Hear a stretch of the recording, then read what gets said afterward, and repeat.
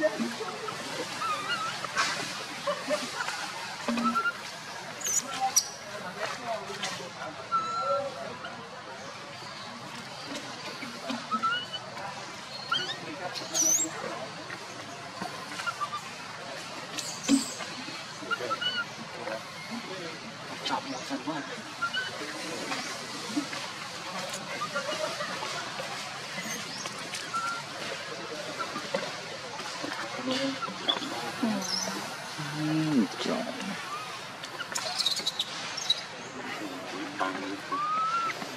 chung